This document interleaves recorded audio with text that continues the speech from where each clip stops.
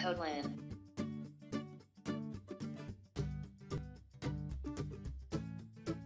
Kotlin is a cross-platform programming language which is officially supported by Google for mobile development on Android.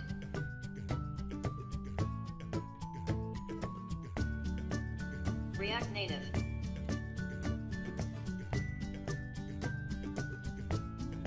React Native is an open-source mobile application framework created by Facebook.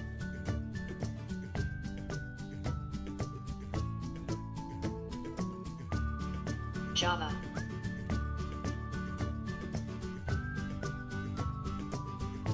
Java is a general-purpose programming language and Android SDK uses the Java as the basis for Android applications.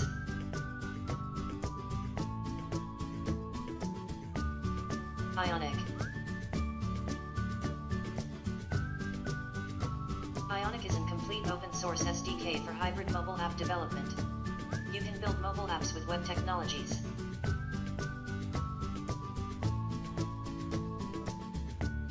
Apache Cordova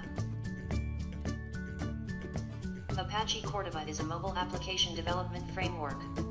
It enables you to create hybrid apps with HTML, CSS and JS. PhoneGap is Adobe's commercial version of Cordova.